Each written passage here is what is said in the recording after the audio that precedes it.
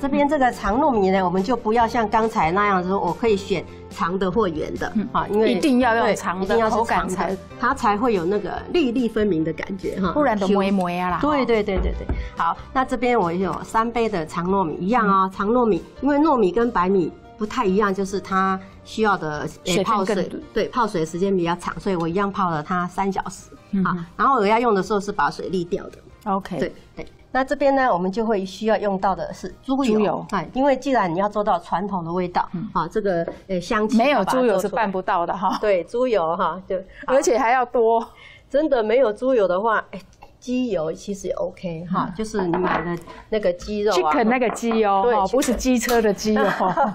好，那我们现在这边呢哈，我用的这个猪油哈，好。因为少了猪油哈，真的那个油饭你就会觉得怎么都觉得少哈，对，少了那一点。啦。对对对对。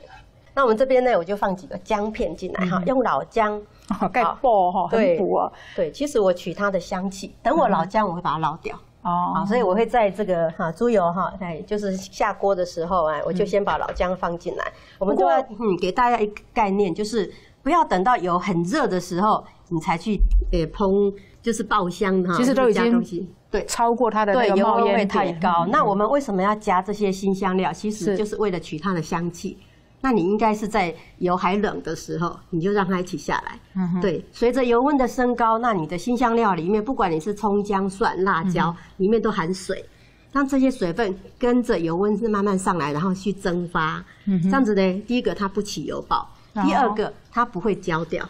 再来就是你的油里面会充满了它的香气，对我觉得这个概念我希望可以带给大家哈，你相信吗？我自己爆猪油的时候，我还在猪油里面放水，我会在猪油一下锅是冷的时候，还没有开火，我就先放一碗水在油的下面，然后盖上锅盖一起爆，然后我不要把它爆到爆到温度那么高，我就把那个油渣捞起来，这样爆出来的猪油颜色就很白。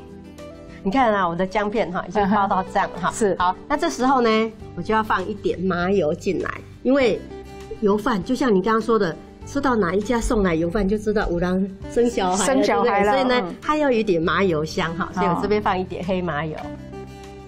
好，就这样子。好，然后黑麻油进来哈，跟姜片和一下，我就会先把姜片把它捞掉。因为麻油其实。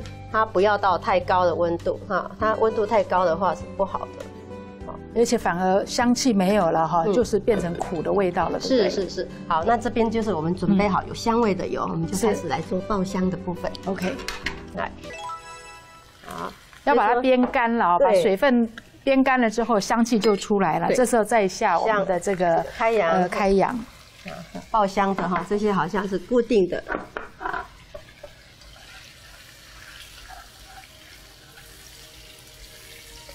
好，尤其是开阳啊，哈，我们一定要洗过啊，因为它在呃曝晒的过程啊，还有一些脏东西、灰尘，对对对，要洗过。所以它里面是湿的哈，我们一定要是先进来。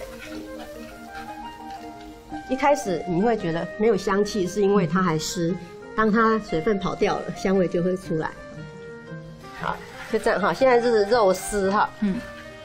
我都喜欢用呃瘦瘦的肉丝哈。对啊，我注意到很多人都喜欢用五花肉才会香嘛哈。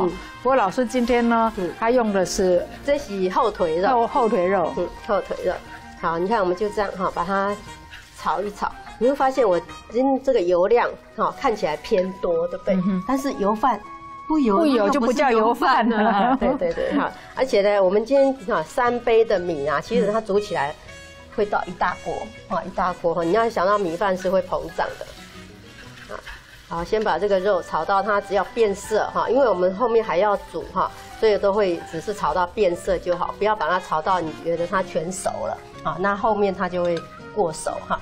好像这样的状态下呢，哈，我们这边我准备一点油葱酥哈，一定要有的就古早味。那如果你不是用油葱酥，你是用红葱头自己来切的话，你就可以跟诶香菇一起下。哦，对，生的红葱头你就跟香菇一起下哈，然后让它炒出香味来。我今天用的是因为少少的对对现成的这个油葱酥。好好，我都一直维持着小小的火就好。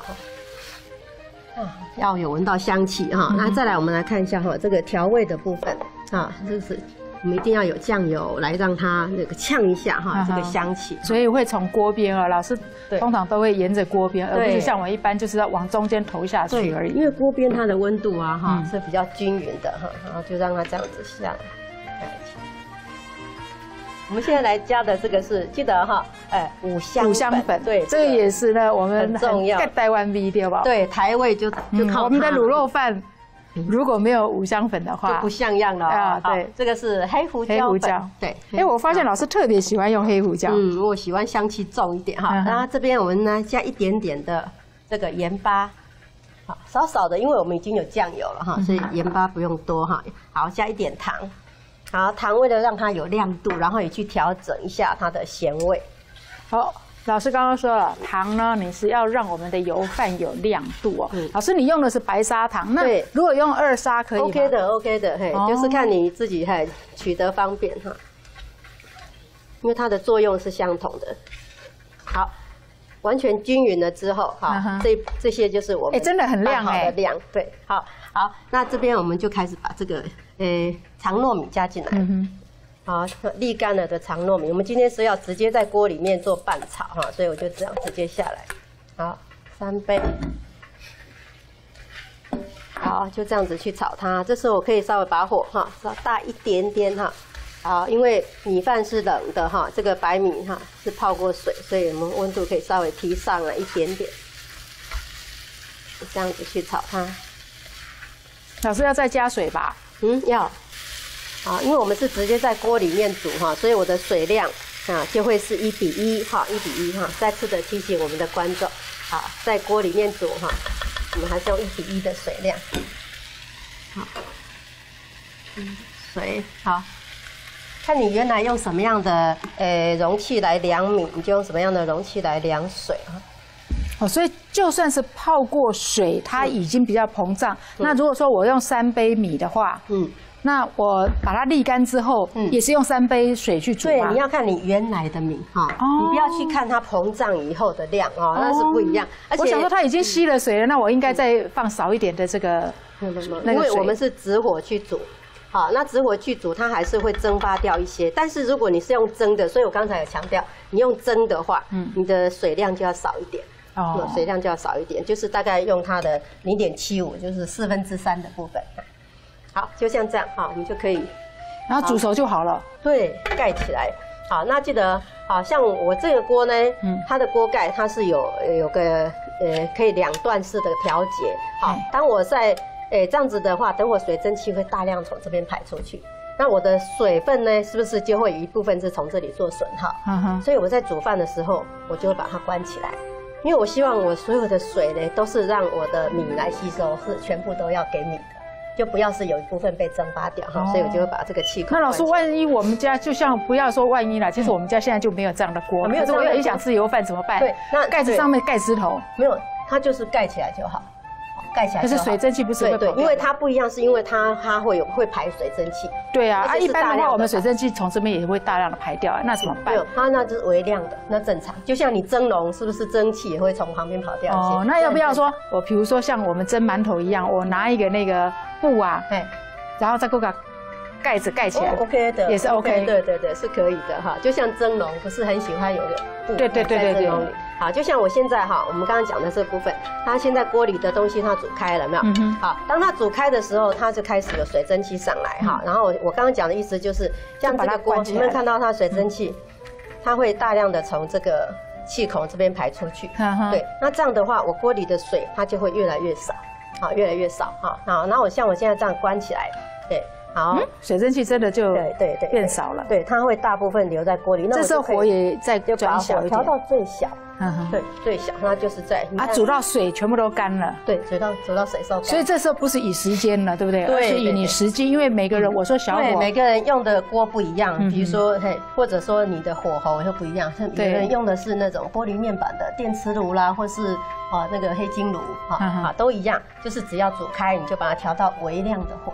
好，微量的，然后煮到水都收掉了。对对对对，就像说，你看到现在这个锅里的感觉，嗯没看到它还是有在滚沸。对，好，但是呢，它的米已经开始在膨胀，在膨胀。好，对，就这样，就这样煮。